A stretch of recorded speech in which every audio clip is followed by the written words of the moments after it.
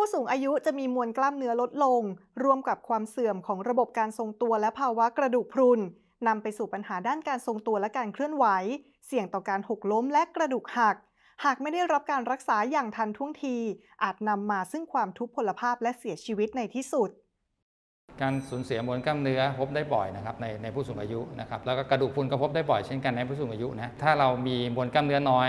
การช่วยเหลือตัวเอง ในการทำกิจวัตรประจำวันเนี่ยก็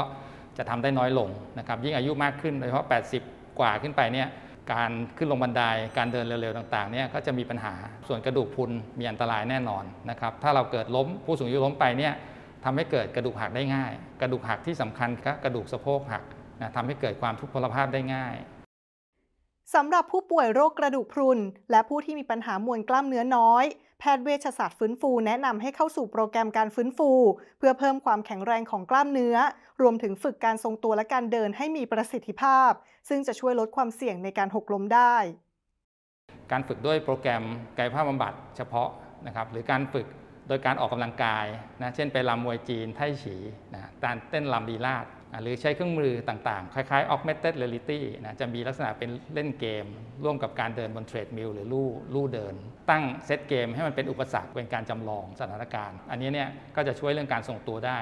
ในคนซึ่งอ่อนแรงมากนะครับเราก็อาจจะใช้หุ่นยนต์สวมใส่ที่ขา มันจะมีตัว motor power อยู่บริเวณเข่าทั้งสองข้างนะสามารถที่จะให้ลุกขึ้นได้ง่ายนะครับสามารถที่จะเดินเหินได้ง่าย ขึ้นลงบันไดได้ง่ายขึ้น อันนี้ก็เป็นประโยชน์นะครับนอกจากโปรแกรมฟื้นฟูปกติ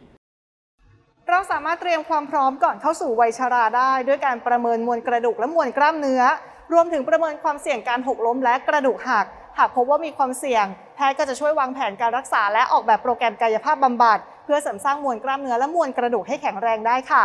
ปุญญนุชเกรียงไกรวณิชเวทานีนิวส์รายงาน Vegshani Victory for Life อยากพลาดสาระดีๆ ของโรงพยาบาลเวชธานี อย่าลืมกดไลค์ กดแชร์ กด Subscribe ด้านล่าง และกดกระดิ่งพวกเราด้วยนะคะ